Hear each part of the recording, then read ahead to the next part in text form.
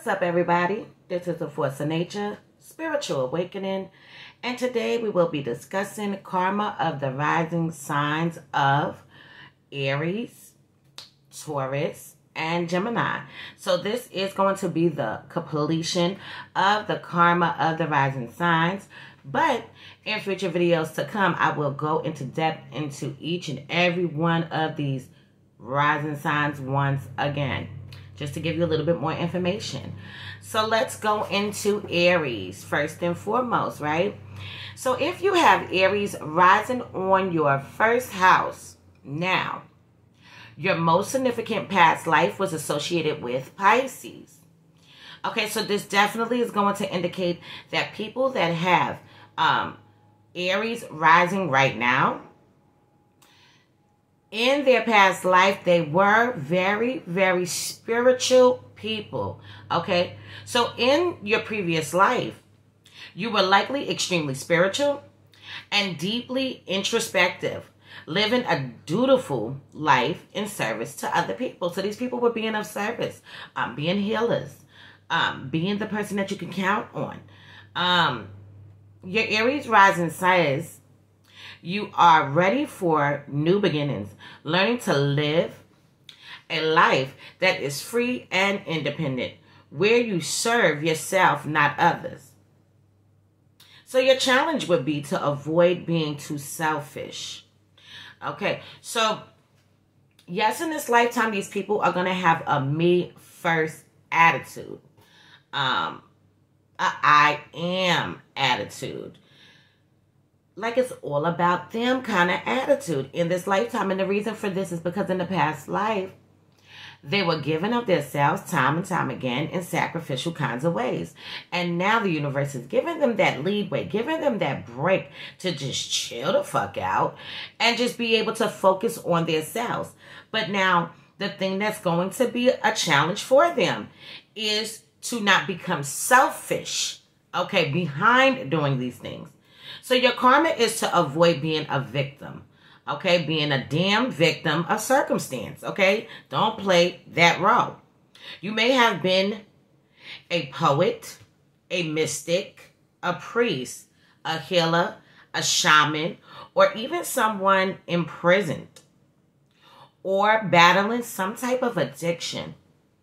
So we already know that Pisces has to deal with all of these things that we just actually just stated.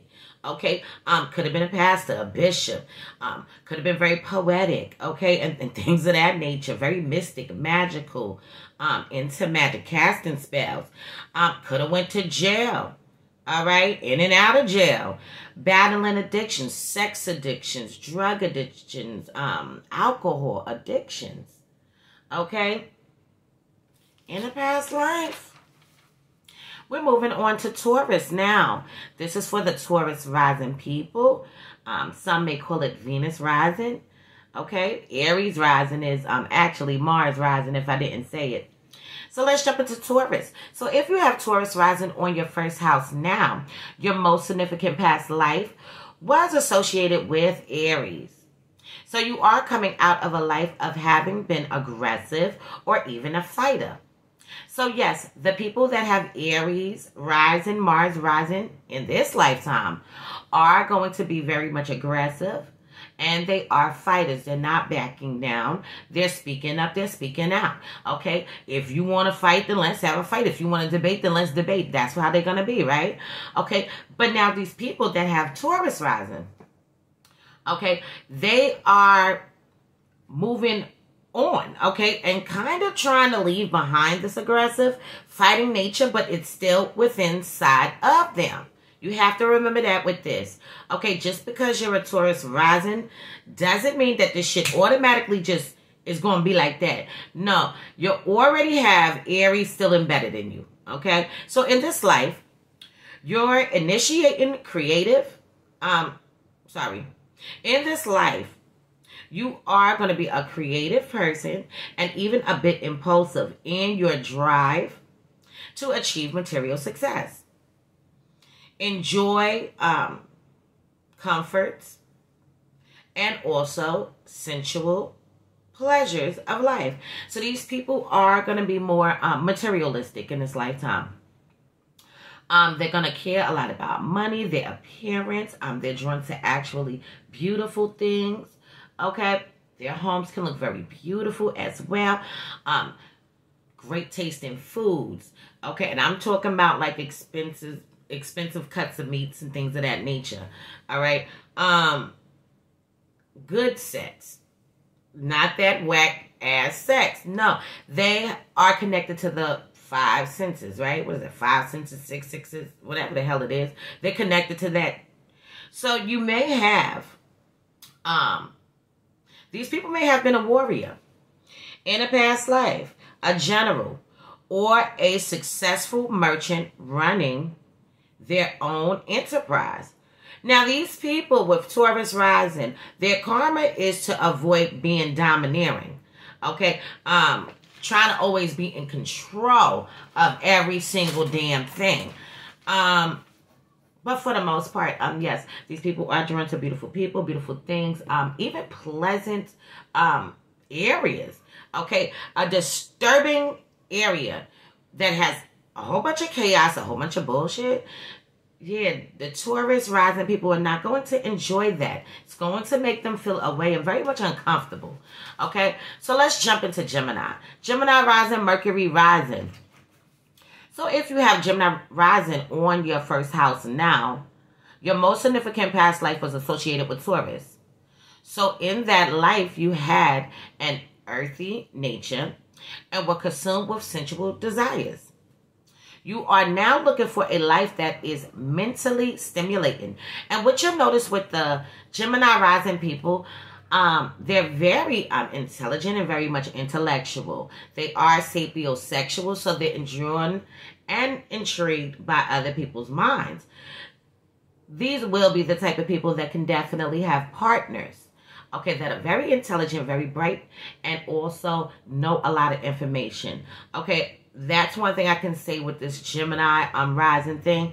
They come across people like this. They enjoy it. They have to be with somebody that knows um they shit. Okay, so filled with interesting experiences that keep you engaged. This is what they need. So they do have to avoid losing your ground nature, your grounded nature. Avoid losing your grounded nature and becoming volatile and also flaky, you have the opportunity to be a great, strong communicator through teaching, writing, or some intellectual pursuit. So these people's karma, your karma is to avoid being too rigid. You may have been a painter, a musician, a gardener, or a wealthy business person in the past life. Okay, so I'm going to leave this on this note for now. And future videos to come, I will go into more depth into all of these placements. Please be sure to like, subscribe, and hit the bell every single time so you can keep getting notifications.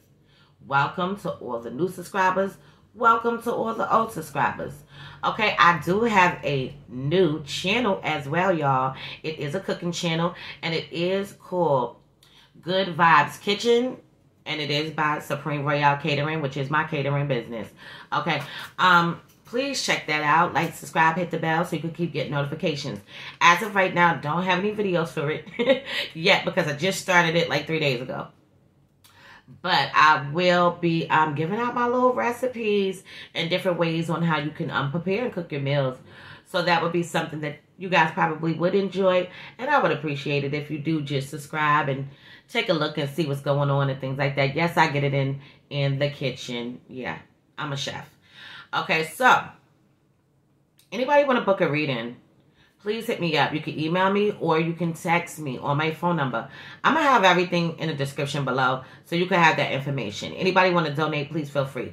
Anybody want to take the six-week course, please sign up for that. Okay, it is $1,000 for the six-week course.